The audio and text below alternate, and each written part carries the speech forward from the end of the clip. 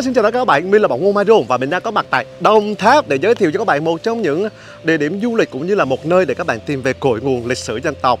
Đó chính là một cụ phó bản Nguyễn Sinh Sắc. Và trước đây thì à, một năm trước thì Bảo Ngô đã có làm về à, về thăm quê hương, về thăm nhà của cụ Nguyễn Sinh Sắc đó chính là tại Nam Đàn, Nghệ An. Và nhưng mà mãi cho đến uh, nửa năm sau thì bây giờ mình mới được uh, về thăm mộ của cụ Nguyễn Sinh Sắc là cơ duyên hội ngộ thì Bảo Ngô cũng đã làm vlog để giới thiệu cho quý vị cùng được biết và hãy cùng với Bảo Ngô cùng khám phá. Và bên cạnh đó thì Bảo Ngô cũng kể rất là nhiều những câu chuyện lịch sử xoay quanh à, cuộc đời của cụ phó bãi Nguyễn Sinh Sắc cũng như là chị em gia đình của à, Chủ tịch Hồ Chí Minh nha các bạn. Mời các bạn chúng ta cùng vào tham quan. Thì các bạn biết đây chính là quê hương à, thủ phủ của những loài hoa và chính là nơi mà các bạn có thể nhìn thấy là à, hoa sen được xem là quốc hoa của Việt Nam mình nha các bạn. Đồng Tháp thì trồng rất là nhiều hoa sen.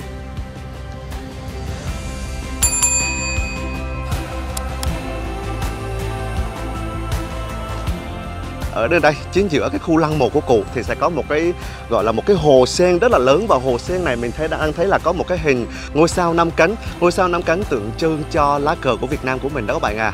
Cờ đỏ sao vàng bay phấp phới. Thì chính giữa phía trong là trồng rất là nhiều hoa sen hồ sen. Và đặc biệt là chính giữa hồ thì có một à, cái đài sen giống là một cái hình tượng của một cái búp sen đâm thẳng lên trên bầu trời. Thì đây là tượng trưng cho được ví von như là một cái cuộc đời của cụ Nguyễn Sinh Sắc một cái cuộc đời thanh bạch thanh liêm à, của một cái nhà nho yêu nước nha quý vị bài và đặc biệt là bên này thì mình đang thấy ơi có một cái ngôi chùa nằm bên cạnh. Thì đây cũng là cái ngôi chùa mà ngày xưa cụ Nguyễn Sinh Sắc đã hoạt động cách mạng ở trong này đây, như các bạn, cả nhà mình có thể nhìn thấy là đây chính là khu lăng mộ của cụ Nguyễn Sinh Sắc. Và như cả nhà mình có thể nhìn thấy là cái khu mái vòm được cách điệu bởi một cái hình tượng của một cái cánh, của một cái bông sen được úp ngược xuống. Và ở trên đó mình đang thấy là có chín cái đường vân. Trên chín đường vân thì sẽ có chín cái hình tượng của giống như chín đầu rồng. Và chín đầu rồng này thì chắc chắn là hình tượng của chín cửa sông Cửu Long nhớ bạn hay là chính con sông Cửu Long. Mời các bạn chúng ta vào tham quan. À, các bạn biết là Đồng Tháp là một trong những cái tỉnh được trồng rất là nhiều hoa và không chỉ là được hoa đâu mà còn đây được được gọi là xứ sở của hoa sen nhớ bạn là nơi mà mọc rất là nhiều hoa sen. Đây mời quý vị và chúng ta cùng vào tham quan cụ mộ của cụ uh, Nguyễn Sinh Sắc. Đây chứ các bạn đây chính là mộ của cụ Nguyễn Sinh Sắc.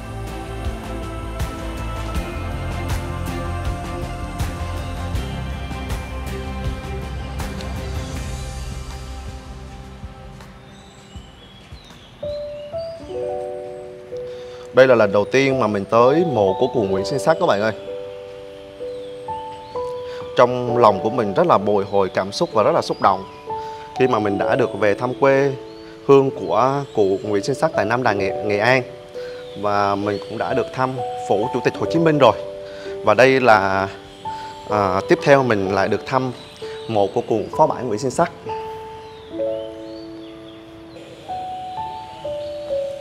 Như mình có thể nhìn thấy là phần mộ của cụ Nguyễn Sinh Sắc thân sinh của Chủ tịch Hồ Chí Minh.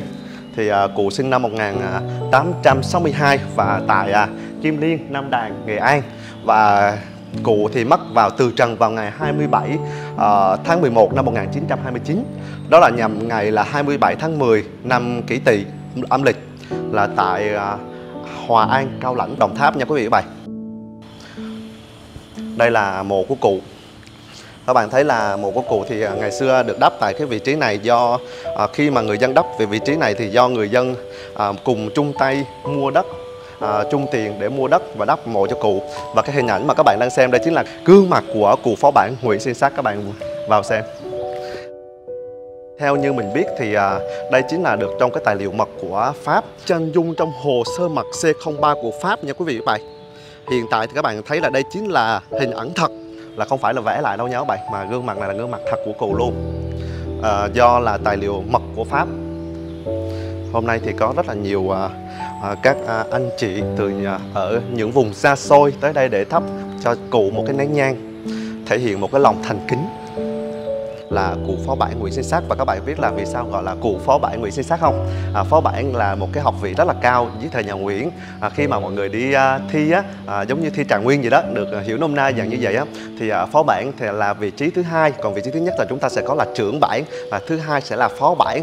Khi cụ thi phó bản được thành công xong á, thì lúc này cụ về vinh quy bái tổ tại à, Kim Liên, à, Nam Đàn, Nghệ An thì khi mà về quê Nam Đàn Nghệ An á, thì tất cả người dân ở tại à, huyện Kim tại làng Sen bây giờ á thì tất cả người dân ở đây đây rất là hào hứng rất là vui rất là hạnh phúc. Bởi vì lần đầu tiên mà tại quê của mình là có một người đổ đạt bạ khoa bản cao đến như vậy thì à, quê của mình mọi người mới à, chung góp lại à, tiền của cũng như là công sức để xây dựng lên một cái ngôi nhà. Hiện nay các bạn về làng Sen thì các bạn sẽ thấy là ngôi nhà của à, của phó bản huyện Sơn Sắc và đây cũng chính là cái nơi mà chủ tịch Hồ Chí Minh à, người đã sống à, cái thời niên thiếu của mình à, tại cái ngôi nhà đó. Và mình cho các bạn xem này. Đây đây chính là cái nhà của à, tại làng sen một cái căn nhà tranh mà lưu giữ lại cho đến ngày hôm nay mà các bạn đi tham quan các bạn sẽ thấy nha các bạn. À, bộ bạc Hồ ông Nguyễn Sinh Sắc thì được sinh ra là làng sen này. Nhưng mà 4 tuổi thì mồ côi cha mẹ. Được cụ Hoàng Đương ở Lăng Quang Tru mới đón về nuôi ăn học. Và gả con gái là Hoàng Thị Loan cho. Thì vì vậy mà ba chị em bác thì đều được sinh ở quê mẹ. À, Bác Hồ 5 tuổi bố học ở Huế thì gia đình bác lại rơi Nghệ An đi Huế. Và tại Huế thì mẹ bác Hồ sinh thêm một người con nữa. Nhưng mà năm đó ba Hoàng Thị Loan sinh em bác thì ba đã qua đời. À, ba qua đời ở tuổi 33 Và em bác thì cũng ra đi khi chưa tròn một tuổi. Cảnh gạt trống nuôi con thì bố bác Hồ phải đưa con trở về. Và Khoa thì hồi Tân Sửu năm 1901 thì ông đi thi và đỗ học vị phó bảng. Mà ngày xưa em biết là đỗ đại khoa phó bảng thì không ở quê vợ, thì gia đình bác tạm biệt hoang Đô để trở về làng sen. Và bà con làng sen thì lần đầu tiên làng này mới có người đỗ đại khoa.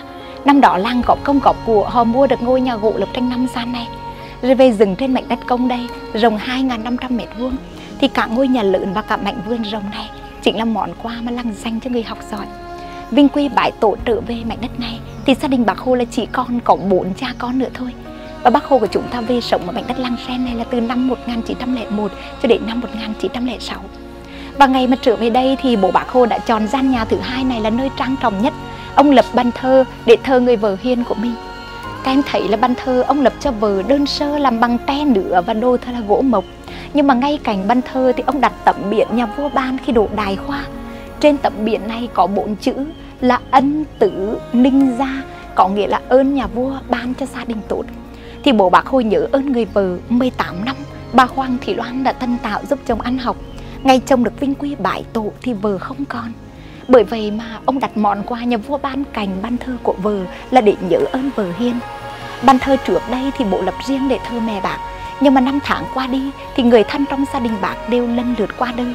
Bộ mất tài cao lãnh đông tháp, cô thanh rước về đây để thơ cung mẹ. Năm 1946 ở làng sen này, anh và chị bác nghe tin em trai mình là chủ tịch nước, thì hơn 40 năm giờ mới nhận được tin em. Anh và chị bác mừng đến rơi nước mắt. Các em biết là về làng sen mẹ bác không còn, thì cô thanh chị bác là người quản xuyến nội trợ. 17 tuổi về làng sen đẹp để đẹp người, có nhiều chàng trai đến giảm hỏi về làm vợ thế mà cô thanh từ chối. Chị bác không lấy chồng mà ở bầy để phùng dưỡng cha, lo cho em thay mẹ. Bởi vậy những năm tháng về làng sen, dù không còn mẹ, nhưng bác hồ của chúng ta được nhận tình yêu thương, bàn tay chăm sóc của người chị gái. Bác lớn lên 16 tuổi thì bác theo cha vào Huế. Từ Huế thì bác vào Nam, người rơi tổ quốc đi tìm đường cứu nước. Chị và anh bác ở làng sen này thì hoạt động yêu nước, bị giặc bắt cầm tù thì đến ra mới được trả tự do. Các em hình dung là hơn 40 năm mất tin em thì anh và chị là cự ngỡ em không còn. Cô Thanh nói với bà con, chuyện này tôi đi Hà Nội tìm của Hồ Chí Minh để xem có đúng là cầu Thanh nhà tôi không. Nóng lòng gặp em, cô Thanh một mình từ làng sen xuống ga Vinh, mua vé tàu rồi đi Hà Nội để tìm em. Lần gặp gỡ đầu tiên sau hơn 40 năm xa cách, chị em bác Hồ được ăn với nhau một bữa cơm, thì bữa cơm gặp mặt, đó cũng chính là bữa cơm cuối cùng trong cuộc đời của chị em bà nỗi đau anh trai mất chưa nguôi, thì bộ năm sau, bác của chúng ta nhận tin chị gái qua đời. Đó là người thân cuối cùng trong gia đình bác ra đi. Nhưng chỉ cả bác mất ngày 25 tháng 4 năm 54 là những ngày mà chiến dịch Điện Biên Phủ đang diễn ra ác liệt. Cho nên người thân cuối cùng ra đi, bác cũng không thể về. Bác trở về, cảnh cũ còn đây, người thân không còn. Nhìn kỷ vật nhớ người thân, bác xúc động nghẹn ngào cảm ơn chị Thanh đã đồng hành với em trong cái tập vlog này. Cảm ơn chị rất là nhiều ạ. Các bạn cũng đừng quên là nhấn đăng ký kênh ủng hộ bỏng ngô Mario một kênh vlog du lịch lan tỏa những giá trị địa phương nhé các bạn.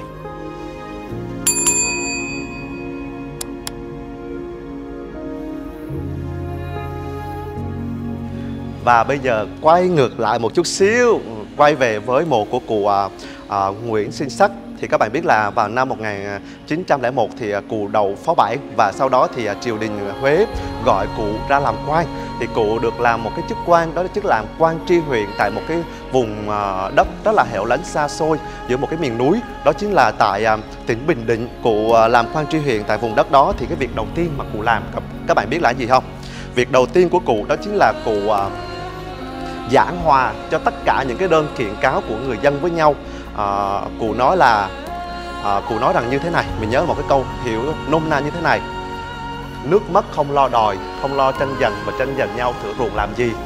Và cái công việc thứ hai của cụ á mà các bạn biết công việc thứ hai của cụ là gì không? Công việc thứ hai của cụ đó chính là cụ thả hết tất cả những tù chính trị cụ thả hết trơn hết trội á. Và sau đó thì có một cái sự kiện chính là khi mà cụ đánh uh, một cái tên cường hào. Và khi mà cụ đánh một cái tên cường hào, ác bá này thì à, 100 roi thì à, tên cường hào này cũng qua đời.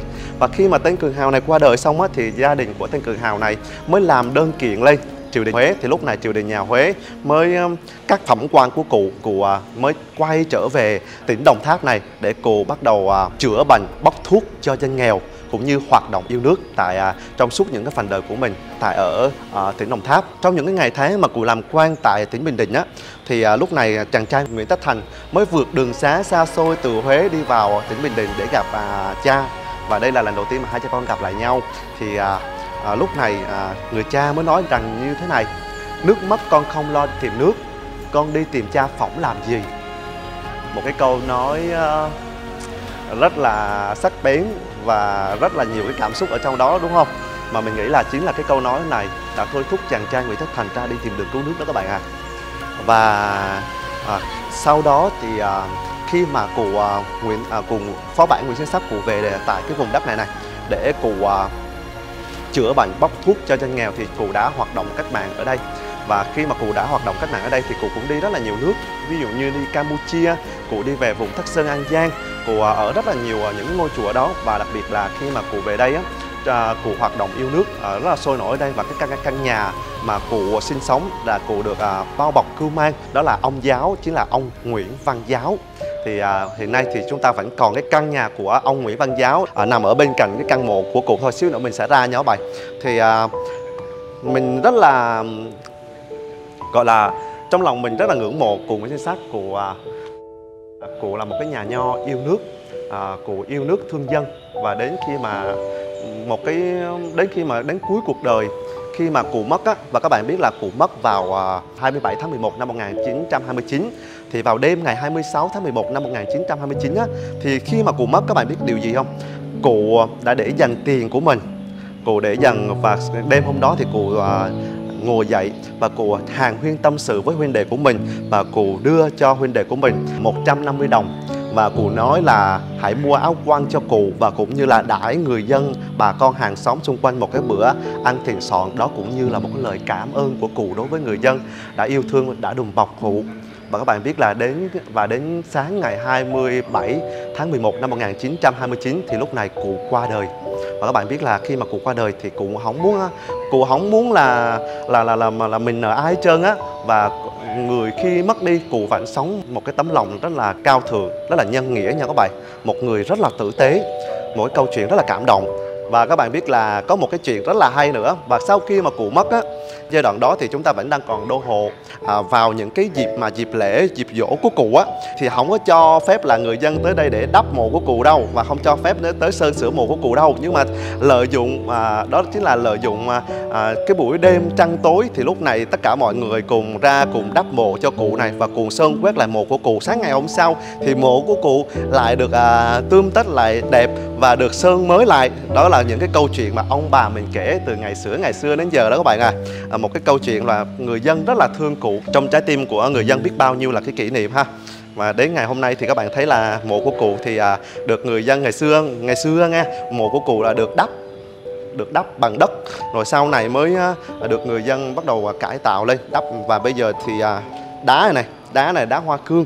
Hoa cương được lấy từ à, ở ngoài quảng ninh đem vào đây để à, đáp lại. Các bạn thấy nhưng mà cái phần nhưng mà về di hài hài cốt của ngài á vẫn nằm đúng cái vị trí cũ ngày xưa mà người dân à, đã đắp nha các bạn. Còn bây giờ thì à, mọi người thấy là được đắp cao hơn lên hơn. Đây là cái này là hình tượng thôi.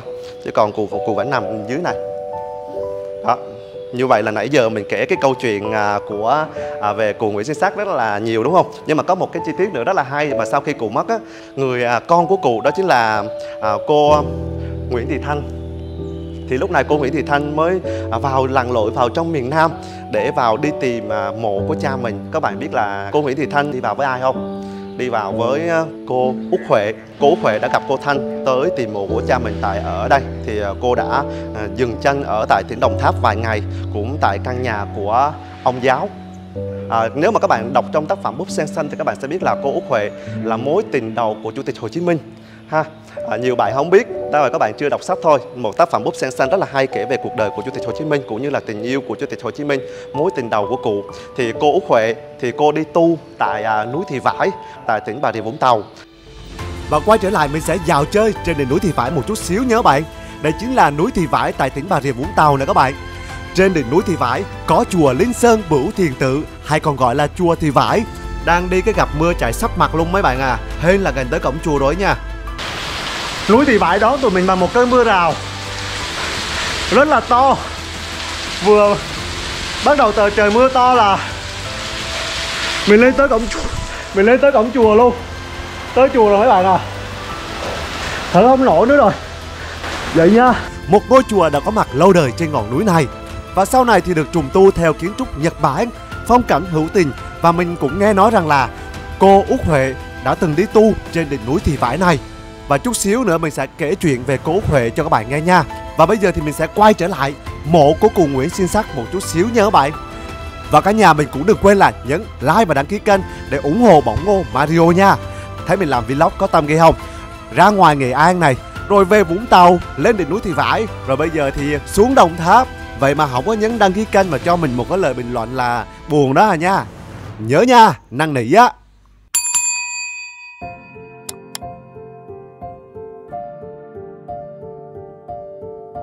Từ mộ của cụ Nguyễn Sinh Sắc thì các bạn có thể nhìn qua bên này.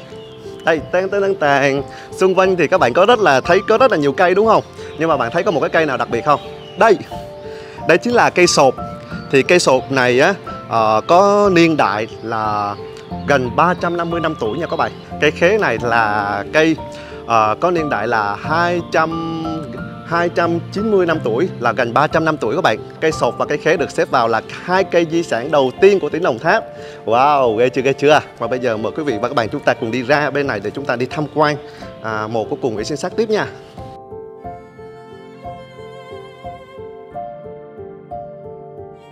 À, đây các bạn đây chính là đền thờ của cụ phó bản Nguyễn Sinh Sắc nằm một bên khu mộ của cụ thôi.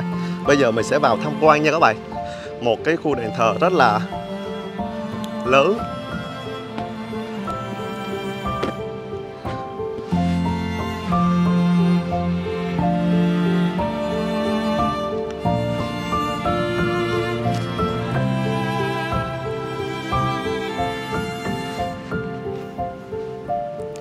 Một người hết lòng vì nước vì dân trọn cuộc đời của mình. À, đến khi mất thì cũng vì dân vì nước. Tạm thời rời cái khu vực à, đầu tiên là cái khu vực là mộ của cụ phó bản Nguyễn Sinh Sắc thì à, khi mà rời qua bên này thì mình sẽ đi qua một cái cái cầu để đi vào trong à, khu nhà sàn của Chủ tịch Hồ Chí Minh.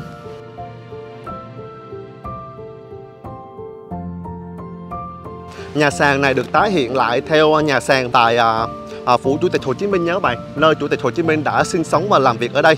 Thì ờ, tất cả ở đây các bạn thấy là được tái hiện lại theo ờ, kiểu là một một nhớ các bạn, tức là mọi hiện vật hiện trạng đều ờ, chân thật sống động như là ở ngoài Hà Nội.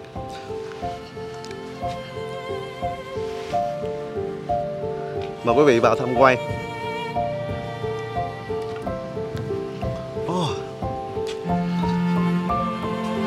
Thì hiện tại mình không có thể lên trên này để tham quan được mình chỉ có thể là ở dưới này tham quan thôi nhà sàn được xây dựng vào tháng 2 năm 1990 khánh thành vào ngày 19 tháng 5 năm 1990 nhân dịp kỷ niệm 100 năm ngày sinh của Chủ tịch Hồ Chí Minh kính yêu.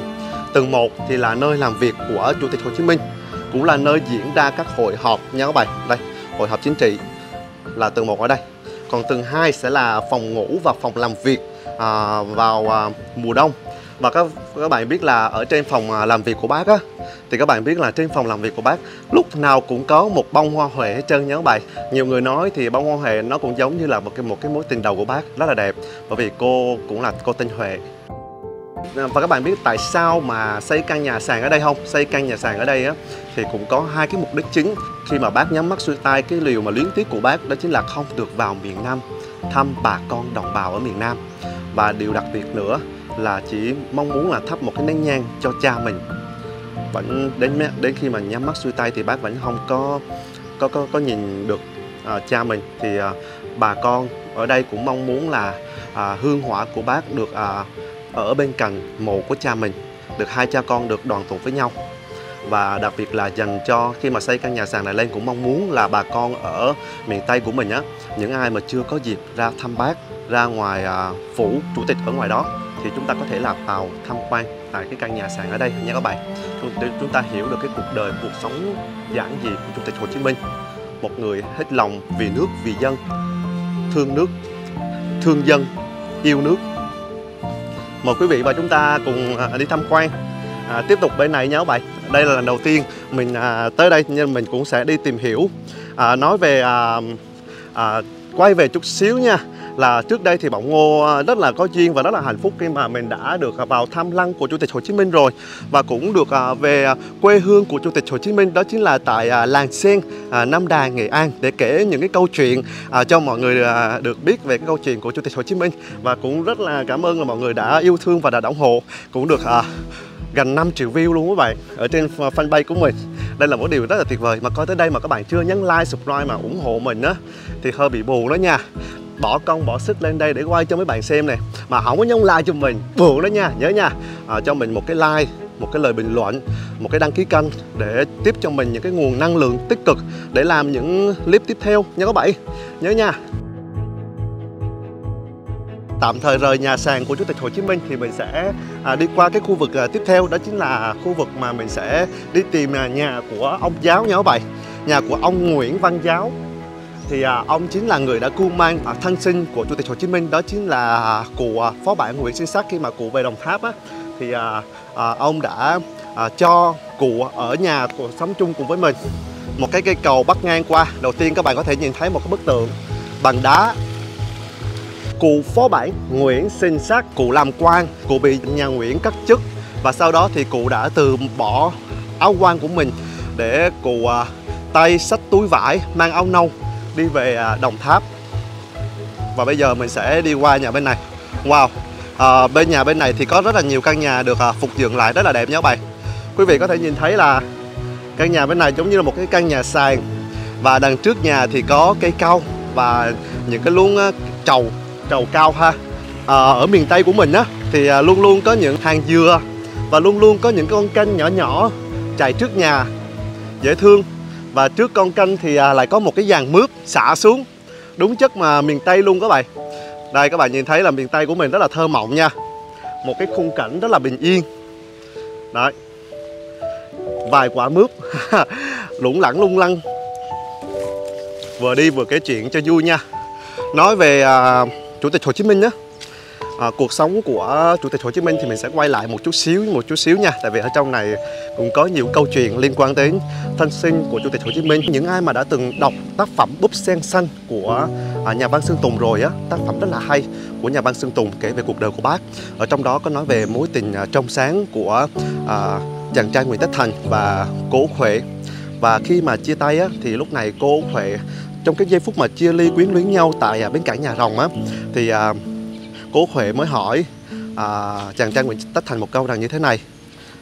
Anh ba có dặn em điều gì nữa không? Chuyến đi này rất xa và rất lâu Không hẹn trước được ngày về. Cho nên tôi không nỡ làm khổ Út Huệ Chỉ mong Út Huệ được bình yên mạnh giỏi mà thôi. Một câu nói không hẹn ước, không ràng buộc Một mối tình vừa chớm nở đã phải hy sinh. Và trong lúc mà cái tiếng còi tàu vang lên á Thúc giục lên tàu thì lúc này á bác mới cầm tay của Út Huệ lên và bác đưa cho Út Huệ một cái mảnh lụa đào. Chiếc lược này khi còn sống Mẹ vẫn dùng để chải tóc. Giờ mẹ mất rồi Tôi lại đi xa Tôi trao lại cho Út Huệ. Năm tháng trôi qua Bà Huệ chải tóc bằng chiếc lược đó Vẫn dõi theo Vẫn chờ đợi. Cho đến khi nghe tin bác đã qua đời Bà đã quyết định đi tu Nương nhờ cửa Phật vào năm 1975 khi mà đất nước hoàn toàn giải phóng trên toàn đất nước á, thì lúc này có một nhà văn tên là Sơn Tùng thì nhà văn đã đi lặn lội vào trong miền Nam à, lên trên đỉnh núi Thị Vải này này để gặp cô Huệ. Và lúc này cô Huệ đã 80 tuổi đã là một cái vị ni sư rất là già rồi. Mà những người đi tu á, thì người ta ít trải lòng những cái câu chuyện quá khứ của người ta lắm các bạn à. Và nhà văn Sơn Tùng cũng rất là kiên trì mãi đến 18 lần đi vào trong miền Nam đi lên trên cái đỉnh núi này để gặp cô Huệ. Và mãi cho đến một lần mà cô Huệ. hỏi à, nhà văn à, Sơn à, nhà văn à, Sơn Tùng một câu như thế này. Ông ở cạnh cụ Hồ nhiều năm Có khi nào thấy cụ Hồ nhắc tới hai chữ tình yêu không? Ông Tùng mới nhớ lại câu thơ của bác Trong tập thơ Nhật ký trong tù có câu Mây ấp núi, núi ôm mây Lòng sông sạch, chẳng mảy may bụi hồng. Bồi ngùi dạo đỉnh Tây Phong Trông về cố quốc, chạnh lòng nhớ ai? Nhà văn Sơn Tùng vừa đọc hết bài thơ Bà Lê Thị Huệ xúc động thật sự. À tôi nhớ ra rồi. Nhớ ai ai nhớ nhớ ai?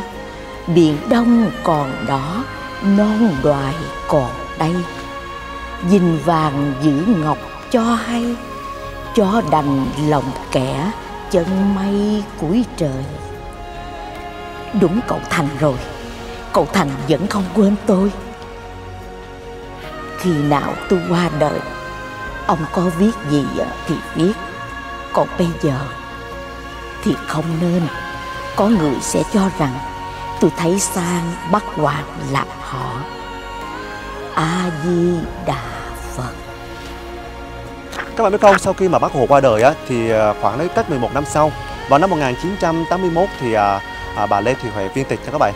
Thì à, đến năm 1982 thì lúc này tác phẩm Búp Sen Xanh của nhà văn Sơn Tùng mới được ra đời và đưa đến tay bạn đọc. Thì mọi người mới biết được muốn vậy lẽ ra à bác cũng có một cái câu chuyện tình à, rất là cảm động. À đây chính là nhà ông Nam Giáo nữa các bạn. Cuối cùng cũng tới rồi à, đây là nhà ông Nam Giáo với tỷ lệ 11 là cái căn nhà ông Nam Giáo ngày xưa. Như thế nào? Là bây giờ y chang như thế thế đó được phục dựng lại nhớ bài. Từ năm 1927 đến năm 1929, cụ phó bản Nguyễn Sinh Sắc về sống hoạt động yêu nước tại làng Hòa An, Cao Lãnh. À, cụ đã à, ở nhà ông Lê Văn Giáo, được gọi là ông Nam Giáo, là một nông dân mất vợ sớm à, và sống với con nuôi là Lê Văn Chất làm nghề chèo ghe mướn.